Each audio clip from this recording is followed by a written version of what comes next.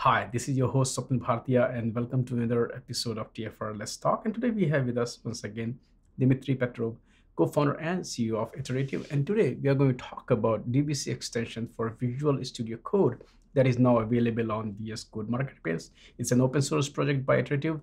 Uh, Dimitri, it's great to have you on the show. Uh, thank you. Uh, happy to be here. First of all, tell us a bit about you know DVC extension uh, for Visual uh, Studio Code, what it is, and you know uh, where it's available, and why are you launching it now? DVC VS Code extension is uh, mm, an extension for the code editor, right? If you're a VS Code user, you can install VS Code and add the extension. It's open source uh, in addition to the extension you can install that, that you can install for free, you can find a source code uh, uh, how we build uh, the extension. Uh, the purpose of the extension is to give you um, experiment tracking experience uh, right on your code editor to VS Code. so today you're probably familiar with multiple different experiment tracking tools uh, some open source, some proprietary, but that's very common approach to have uh, when you do experimentation. You use experiment tracking to understand what kind of how many experiments you run, like how what what metrics you got, uh, how metrics is growing right now when the experiment is running. So is it time to stop it? Uh, are you still need to wait and waste uh, and spend your GPU resources on this? So a lot of questions that experiment tracking tool can answer. And today there are a bunch of experiment tracking tool that you can deploy and use or use a SaaS uh, in the cloud. What our biggest question is, do you really need a special separate service for that? Why don't you have this experience right on your IDE, right on your like next to your code editor? So, and together with the code, you will have all the experience with hundreds of experiments that you run, all the metrics, all the beautiful graphs, and everything right on your uh, development experience. So that's the motivation for this, to improve development experience, uh, to improve the way how people de- uh, uh work with uh, uh, development, model development. A full VS Code native experimentation platform.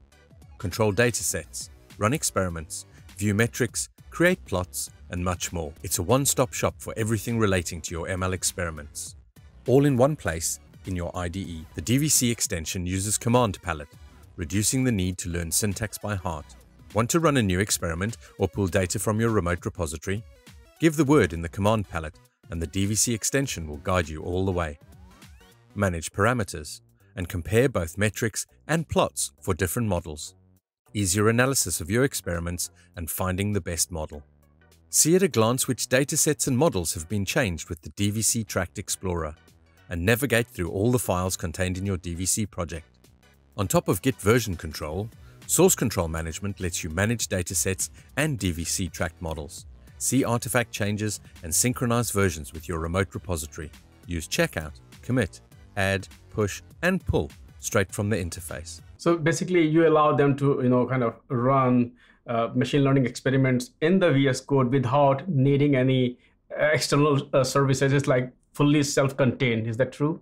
Absolutely, yeah. So you install VS Code, uh, you install the extension, uh, you run your code. Everything is here, no external services. That, that's the beauty of this uh, this tool. At the same time, you have all this like great uh, visual experience uh, right on your machine. What's the problem that you're trying to solve? Why you know you feel that hey, you know what, we need to offer that? There are two reasons. Like uh, first of all, you need to you need to have this experience like closer to you. It, it's uh, it's important to have like a shorter shorter feedback loop. It's important not to uh, to have like a similar experience with a coding IDE and the similar design, similar experience uh, of uh, experiment tracking. It's like it's all about like the best developer experience, how provide uh, best um, the best UI uh, for developers. Uh, and uh, when I say about like local experience, it not necessarily mean like your local machine, your lap- laptop, right? Because in many cases, like people work with the clouds uh, but this is the beauty of VS Code because VS Code can work in a cloud through web browser. and many many many companies, many users like use VS Code in this way, like through through web browser. And uh, we are working with some clients, and especially it's true about enterprises. They're saying we don't want to give any piece of data to local machine, right? We want to work 100% on cloud when it comes down to data. And this is uh, Jupyter notebooks and VS Code extension is a way to, to do this, right?